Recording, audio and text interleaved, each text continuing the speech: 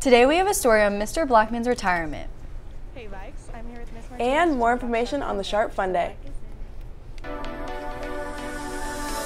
We are making stories by teens for teens. Creating a platform, finding character, and giving others a voice.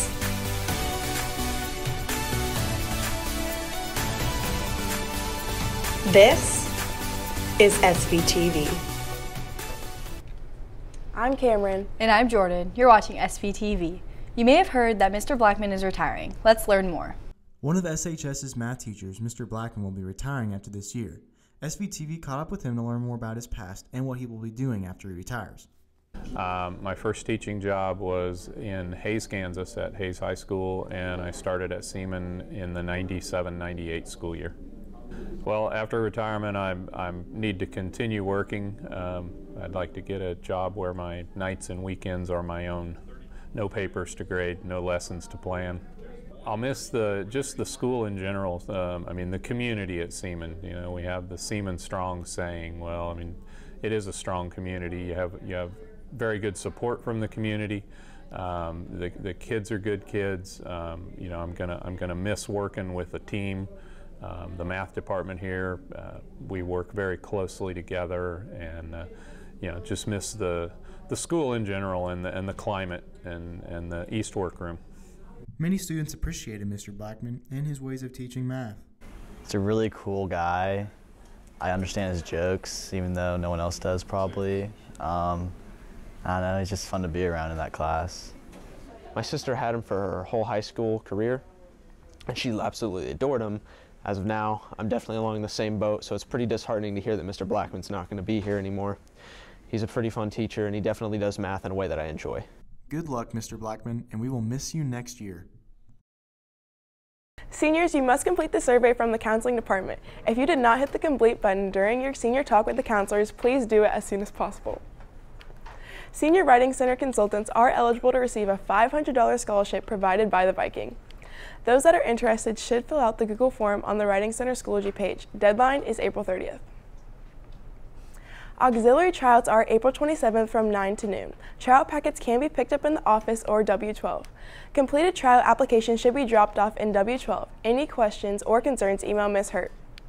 The Spring Break Europe trip for 2021 will be to Rome, Florence, and Assisi.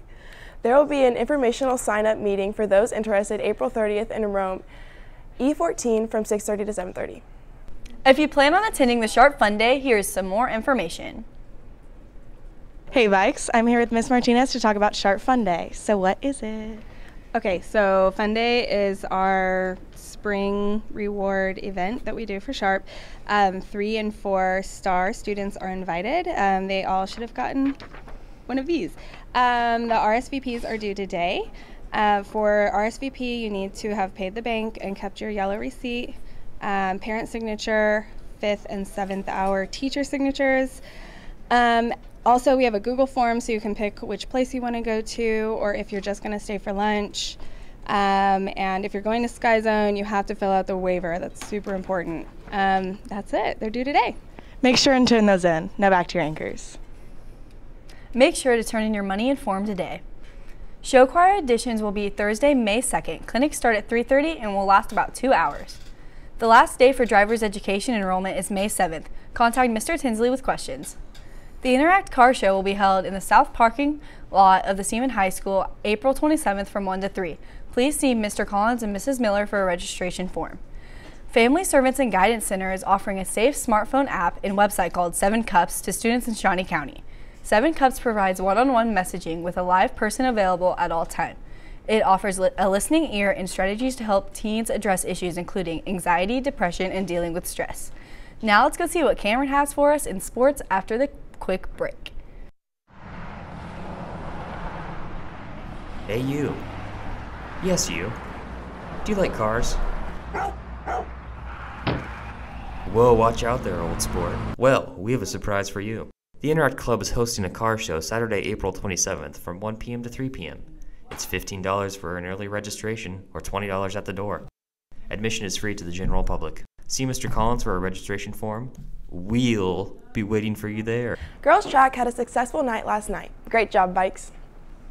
Seaman Relays is tomorrow, and there will be 25 teams participating from across the state. School will be out at 2 and only for the high school. In the event that the meet is canceled due to weather, school will be dismissed at regular time. Boys soccer will have a meeting tomorrow right after school in room W15. Anyone interested in playing soccer next year is welcome.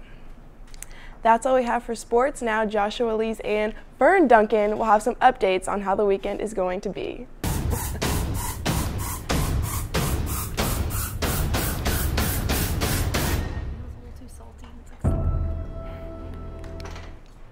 Happy Thursday to you today. Highs will top out in the lower 70s, but it's going to be a little bit sooner than we when we usually hit our peak temperature because a cold front is coming through, and that's going to increase the cloud coverage for just a few hours by around the time school gets out. Can't completely rule out an isolated sprinkle, but we're not expecting much, and then it does turn sunny again later this evening as temperatures drop down into the 60s. Now, Tomorrow for the relays, we should be dry, but late tomorrow night, this is Saturday at 4 a.m., there could be a few scattered showers in the area. Nothing heavy, but just don't be surprised if there's a little rain late Friday night.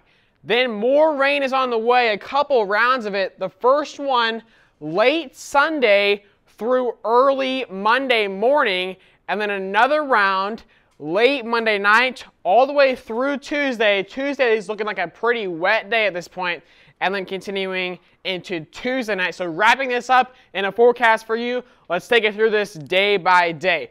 Windy today, nice tomorrow for the Seaman relays. The wind picks back up on Saturday with sunshine after those morning showers. And then Sunday, storms late, cooler as well with 61 degrees. There comes the active pattern for the first couple days of next week. We'll keep you updated here with SVTV Weather. Camryn and Jordan, back to you.